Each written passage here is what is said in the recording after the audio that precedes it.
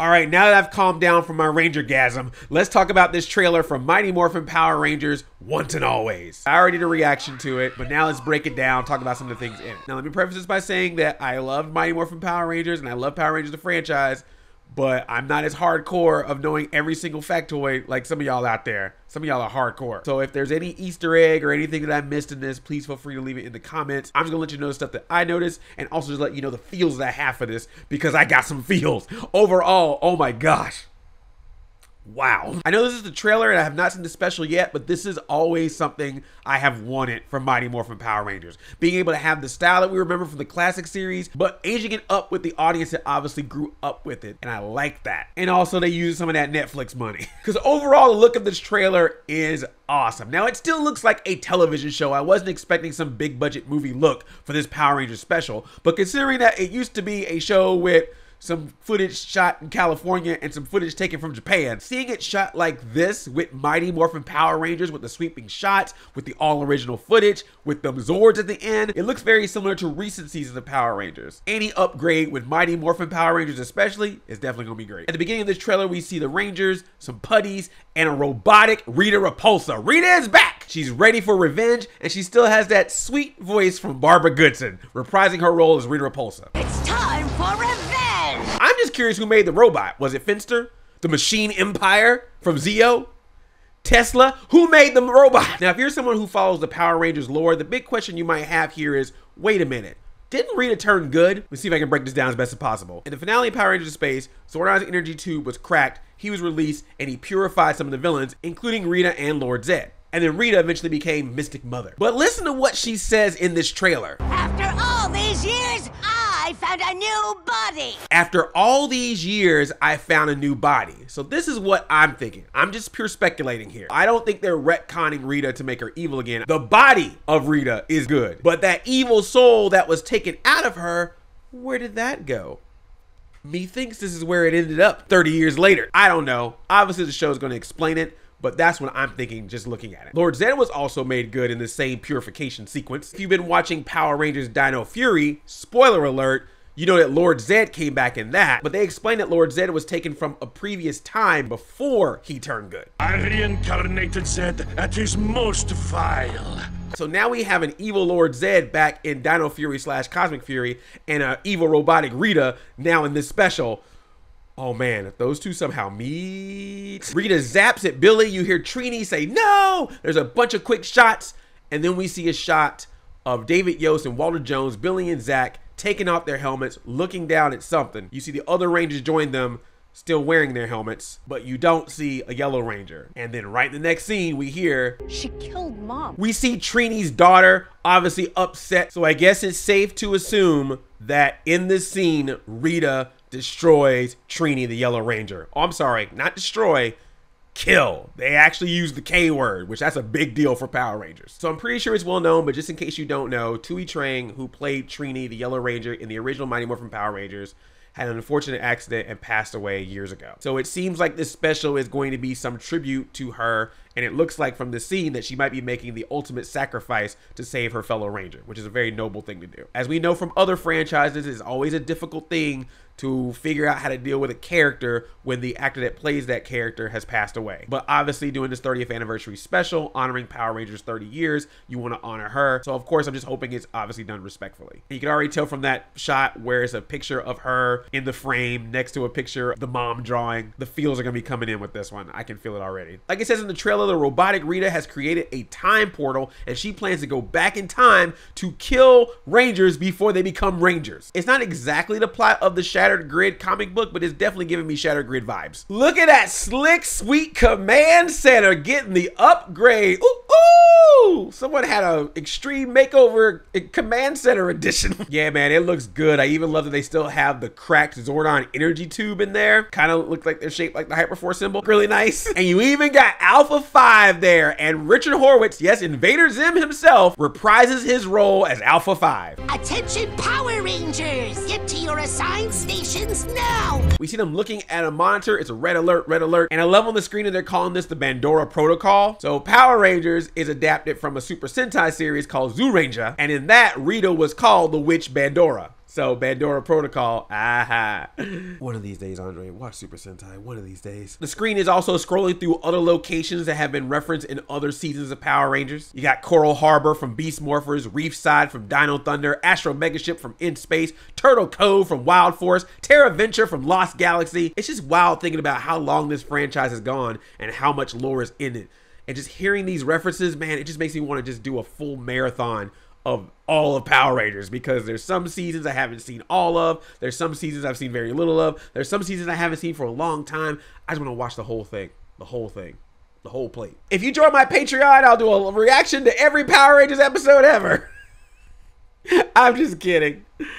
Or am I? Needing some backup, Alpha, Billy, and Zach call up Catherine and Rocky. If you haven't watched Mighty Morphin Power Rangers since season one, let me explain. Rocky was brought onto the team as the new Red Ranger in season two, and Catherine was the replacement for Kimberly when she left in season three. And the fact that some people didn't realize that, again, is very telling that for some people, Power Rangers is just nostalgia from the 90s and not a thing they kept up with since then. Hasbro, make more Lightning Collection figures. Gotta educate the people. Obviously, with Zach, Black Don't Crack, seeing Walter Jones in the front yelling, It's Morphin Time just makes me so happy. He said it before in the original series, but seeing it shot this way, I was like, keep it in, Andre, keep it in, keep those tears in. I don't know, it's just something magical about that. Walter Jones, he left the show in season two. David Yost left the show later, and both of them have not been back on Power Rangers since. Always wanted them to come back, and so the fact that they're not only back in this special, but they are front and center just means so much to me that they are getting this spotlight that they both truly deserve. And it just makes me so happy. And seeing Walter Jones just right up front, seeing the Zach man yelling out his morphin time in front of the team. Oh! Oh man, it's so good. It's morphin time. We're getting returning monsters in this, Minotaur and Snizard, and they look to be part robotic as well. Is this gonna be a new thing in Power Rangers? Robotic versions of past villains? I'm down with that. This shot right here, just panning through the Rangers fighting the putties on a steady cam one shot. Who is this the Daredevil hallway scene for Power Rangers? Just watching Power Rangers fight putties just never goes out of style. I can watch that all day. And it's not a Power Rangers without an explosion behind the team. Classic. We get a cameo from Adam and Aisha. Adam and Aisha came in with Rocky in season two. Adam becoming the Black Ranger, Aisha the Yellow Ranger. And he looked to be wearing some kind of uniform with a badge that says SPA. Now, this might be a reference to SPD, aka Space Patrol Delta, Power Rangers SPD. So maybe the SPA stands for Space Patrol Alpha or Space Patrol Academy. Or maybe even stands for Space Patrol Adam and Space Patrol Aisha. Also, shout out to Karan Ashley. It's just so cool to see her back. This is her first time returning to Power Rangers since she left the series. She technically didn't even get like a proper send off because they turned them into kids, and then her kid version went away, and we never saw her again. Power Rangers got a lot going on, y'all. If you if you're new to this, there's a lot to explain. Even I don't know all of it, but there's a lot. There's a wiki. It'll help you out. Now, when does Tanya show up? When are we gonna get Tanya some love? Where's the Zeo special? I need some Nakia Burrise. We also see a shot that seems like Rita might be returning to her palace on the moon, and it looks like we're getting a fight at Ernie's place, aka the Angel Grove Youth Center and Juice Bar, where everything happened on that show. if it wasn't happening in school and it wasn't happening in the park, it happened at the youth center. Those are the three locations of Mighty Morphin Power Rangers. I don't know if this is going to happen. They haven't said anything, but man, if we're going to the Juice Bar, Seems like a good place to have a Bulk and Skull cameo. Is that asking for too much? I know. I'm probably asking for too much. But man, I really hope Bulk and Skull are in this. Boom, boom, boom, boom, boom. I love that we get to see Zach and Rocky, aka Walter and Steven, fighting in this scene in civilian mode. I always have been a fan of civilian fights in Power Rangers. So the fact that they are going to have some scenes where they're fighting in civilian mode, we get to see them doing the stuff themselves. That's really cool. But obviously for some of the major Ranger fights where they're probably going to be using some stunt people, shout out to the stunt team. Especially with this one shot where Billy flips over the robotic Rita. I was like, dang, that's nice. Loved how they mixed the Power Rangers theme into the score.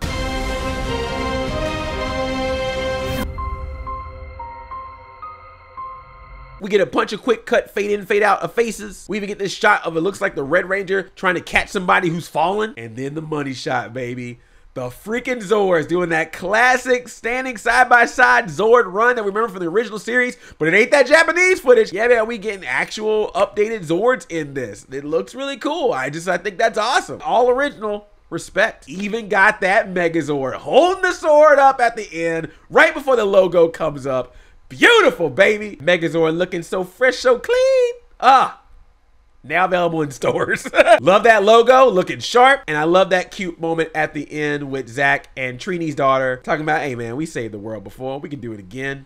I love that confidence. This is going to be interesting because this is Mighty Morphin Power Rangers. We got the suits, we got the juice bar is back, we got the putties back. So it's the typical Power Ranger stuff that we've seen, but obviously with a serious thing that happens in this feels akin to the Power Rangers comics where it's like, yeah, you get those elements of Power Rangers that we're used to, but it looks like the stakes are getting raised. This could be a nice, bold step for Mighty Morphin Power Rangers or Power Rangers in general when it comes to entertainment. This could be the first step in them being able to make obviously not R-rated stuff, but like more mature than the typical TV show stuff with Power Rangers. But I'm pretty sure we're to still have some typical Power Ranger stuff in there that we're used to. And I think that it's working because there are people on my timeline in my social medias that hardly ever talk about Power Rangers who are talking about this or sharing this. Now, no word yet on what they're going to do about JDF. And obviously, there's a Green Ranger in this, but I don't think Jason David Frank is playing him. This was already in production, and from what I understand, he was not going to be a part of it to begin with but obviously he has passed since then. So I don't know if they had enough time to do anything in the actual show to honor him as well. But I'm pretty sure if not, they're going to put something in maybe the credits or something like that take care of that. By the way, Jason David Frank has a movie of his own coming out soon called Legend of the White Dragon. Obviously, it's sad that not every Ranger is in this. I know it's not the perfect reunion. I know it would have been great to have every Ranger there side by side the way that we had it back in the past. But there's just some things that are just out of our control. Things happen to people, people make decisions. It is what it is. Personally, a Power Rangers reunion is something I've been wanting for a long time, but after years of not seeing it, I kind of gave up on it. I just thought it was never going to happen. So the fact that we have this and that the people that are at least involved in this seem to be putting their all into making this the coolest looking Power Ranger special that they can do for their fans that have grown up with this series for the past 30 years. I just think that's awesome and I'm going to count it as a blessing and look at it as a at least I got this over nothing. Yeah, man, this trailer got me super hype. I don't need to see anything else. I'm just ready to see this special. I am ready for it. Netflix. I don't know what data you collect from my viewing habits, but get ready for a Power Ranger spike when this special comes out. This man watched it how many times? I love you like a play cousin. I'm out 5000. May the power protect you.